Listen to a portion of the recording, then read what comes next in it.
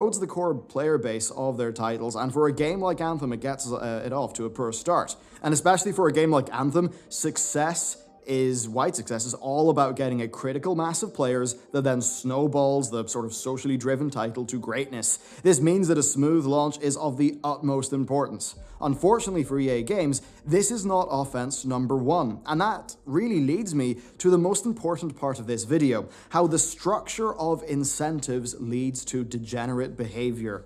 Most of EA Games' stock increase over the last two years has been down to analysts loving their live services.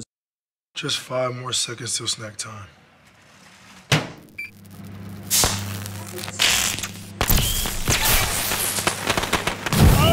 It's a good thing you kept your fire extinguisher up to date. Don't worry about the smoke damage. I can help. What'd you do to your kitchen? What did you do to my kitchen? I ain't do nothing. Cole, who do you see? James. That's not me. Man, that's you. You did that. Look at you. It's easy to. That's not me. I can